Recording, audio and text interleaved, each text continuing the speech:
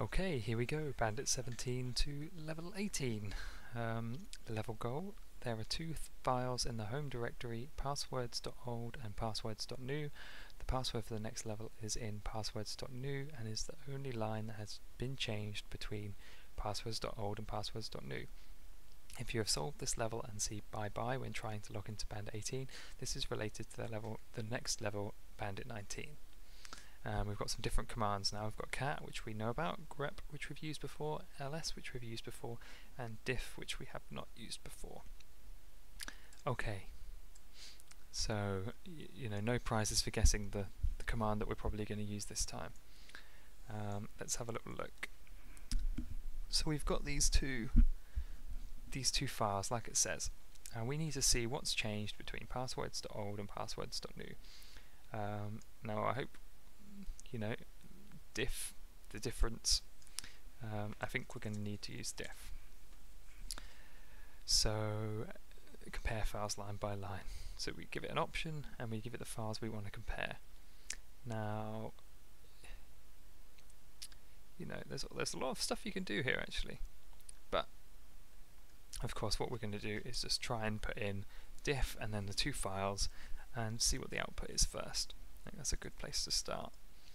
So passwords.old and passwords.new.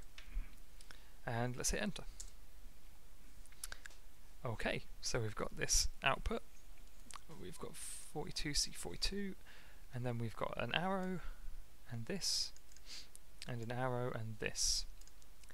So what I'm figuring is that this is the line that belonged to passwords.old, hence the left arrow, and this is what it got changed to, hence the right arrow. Um, let's just try spinning these around, passwords.new and then passwords.old on the right hand side and see if that changes anything. I actually don't know if this will or not, but you know, this is how we learn. Yeah, so as we sort of guessed, you know, it's this is showing you what was in the left hand file and what it's changed to when moving to the right hand file. Um, so we need to go from passwords.old to passwords.new.